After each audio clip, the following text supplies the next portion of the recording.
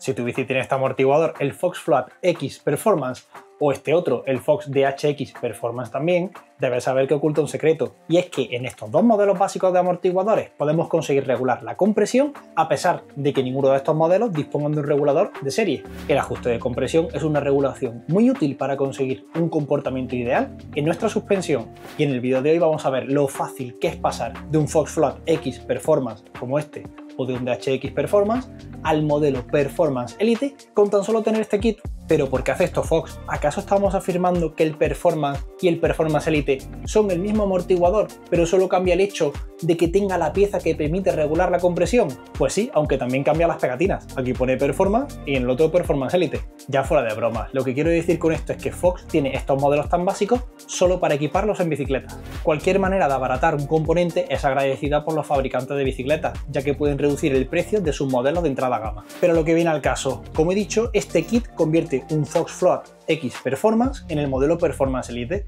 Este modelo superior es idéntico en capacidades al Factory, que solo se diferencia por el recubrimiento casima del vástago y por el cuerpo de color oro.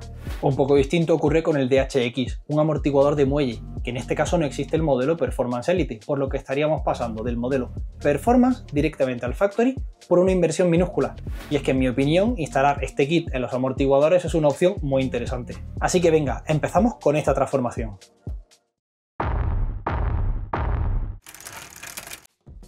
Lo primero es saber que vamos a necesitar para dotar a este amortiguador básico la capacidad de regular la compresión.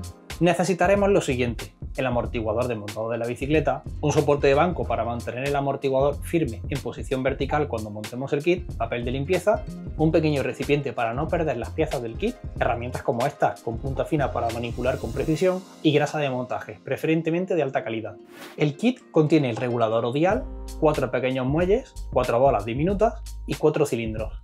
Este kit es complicado de encontrar en España. Las tiendas que lo tienen no lo suelen vender suelto al cliente final, pero yo lo he encontrado por internet. Con poner en Google Foxflat X Upgrade Kit encontraré resultados más que decentes. Eso sí, por unos 40 o 50 euros de coste, que no es mucho, pero este kit en Estados Unidos cuesta entre 25 y 30 dólares, prácticamente la mitad. Antes dije que era fácil, ¿verdad? Pero la verdad es que es un poco delicada su instalación. Tan solo hay que tener el amortiguador desmontado de la bicicleta. No hay que abrirlo ni nada por el estilo, pero sí se necesita paciencia y precisión. Así que empezamos. Lo primero es limpiar el amortiguador. Trabajar sobre componentes limpios es mucho más efectivo y menos arriesgado que sobre piezas sucias.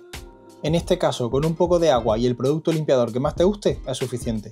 Una vez seco, lo que toca ahora es retirar la tapa de plástico.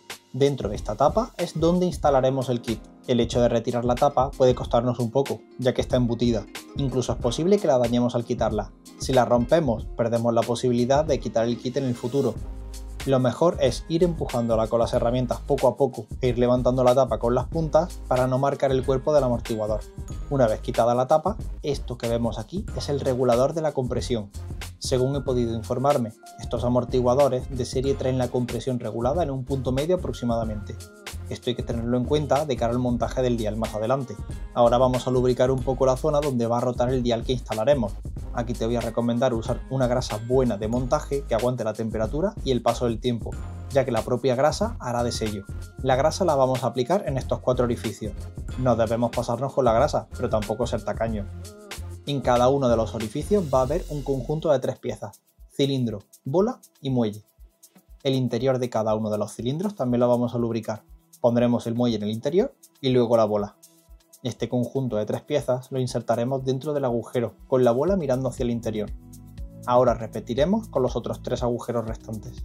Yo te voy a recomendar hacer esto con el amortiguador puesto de manera vertical en un banco en el que sea fácil trabajar con él. Ahora viene lo realmente complicado. Hay que tener paciencia y ser un poco manitas para ello. Los tres conjuntos de piezas, cilindro, muelle y bola, deben quedar más o menos simétricos, no deben sobresalir demasiado, pero tampoco deben quedar totalmente comprimidos.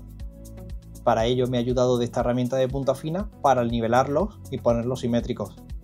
Al dial se le aplica un poco de grasa en su parte interior y ahora lo montamos.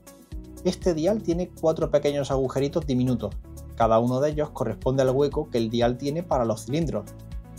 Estos agujeritos servirán en el futuro si tenemos que desmontarlo.